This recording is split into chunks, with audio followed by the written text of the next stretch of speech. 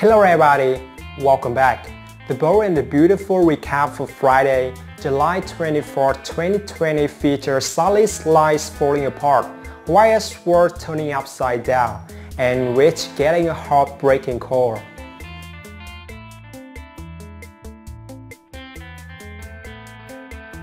The message on Sally's bottom worked, and Wyatt demanded answers. Sally tried to divert and deflect, but it did no good.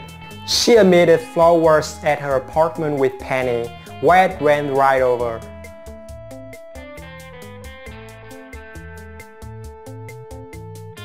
It perhaps the most anticlimactic kidnapping scene in soap history. Wyatt kicked down Sally's door and cut off Flo's retreat. They kissed, they hugged, they cried like they didn't just see each other that very morning. Then Wyatt got the lowdown of Sally's dirty little scheme. She was never dying, she was never in danger, and she wanted to lock Wyatt down with the baby. Oh yeah, Wyatt heard it all.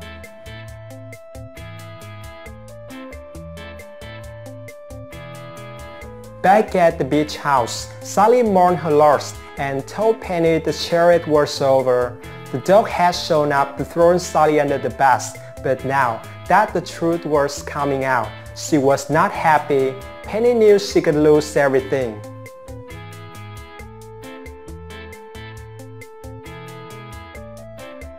Meanwhile, set the scene for even more tears and anguish, Steffy remained stable, but she was seriously injured and stayed unconscious. Bill had no choice but to Ridge with the news.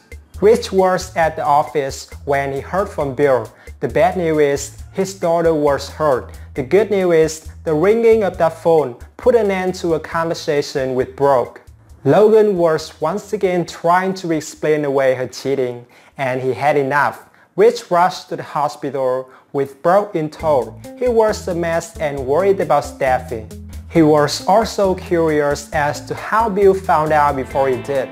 Unfortunately, the dog came out to speak to Ridge before Dollar Bill had a chance to confess. The Bold and the Beautiful airs weekdays on CBS. Check your local listings for air times. Seem like some hot drama will happen, so stay tuned.